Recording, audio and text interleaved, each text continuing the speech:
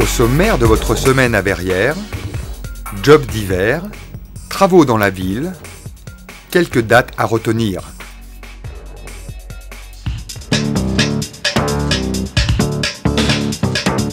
Après les jobs d'été, le point information jeunesse de Verrières-le-Buisson, en partenariat avec Vitacité Mission locale de Massy, a mis en place les jobs d'hiver. Alors cet après-midi a pour objectif de permettre aux jeunes, à partir de 16 ans, de trouver un petit job d'appoint ou, des missions euh, d'intérim ou autres dans tous les secteurs d'activité et donc leur permettre de, de devenir autonomes euh, dans leur quotidien. Cette nouvelle action permettra d'aider les jeunes verriérois en recherche d'emploi saisonnier. L'après-midi du mercredi 16 novembre a permis à de nombreux candidats de rencontrer des entreprises, des conseillers de Vitacité Mission Locale ou de trouver parmi les propositions affichées le job correspondant à leurs attentes. Les offres d'emploi sont restées disponibles jusqu'au 19 novembre. L'action Job d'hiver est une initiative importante prise par la municipalité et qui démontre une fois encore sa volonté de ne laisser aucun jeune à l'écart. Circuler en ville à vélo et en toute sécurité est désormais possible.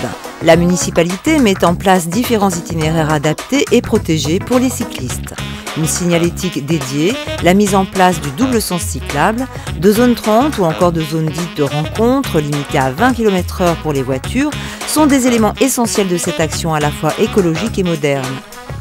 Les itinéraires mis en place cet hiver sont la première réalisation d'un projet qui va progresser sur plusieurs années. Ce plan vélo s'adapte à la topographie et à la voirie de Verrières qui possède déjà quatre pistes cyclables et ne peut en créer de nouvelles compte tenu de ses dénivelés et de l'étroitesse de ses rues. Une nouvelle signalétique est donc mise en place avec des panneaux spécifiques, des pictogrammes sur la chaussée et des bandes sur le sol, rappelant aux endroits délicats la place réservée aux vélos. Après sélection du jury présidé par Alain Absir, écrivain, prix Femina 1987 et président de la Société des gens de lettres, la remise du prix Vedrarias aura lieu le samedi 10 décembre à 18h au Colombier. Pour clore la soirée, le comédien Jean-Paul Audrin de la Compagnie de l'Ours jouera Des Profondis d'Oscar Wilde. L'agenda, quelques dates à retenir.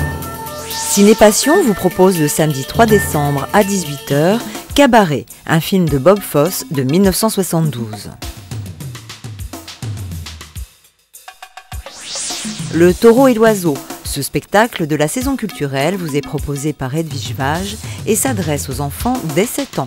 N'oubliez pas de réserver. Le mardi 6 décembre à 14h15, Denis Tillinac, écrivain, sera reçu par les Mardis de Verrières et parlera du dictionnaire amoureux du catholicisme. Dans votre prochaine semaine à Verrières, du sel pour nos rues.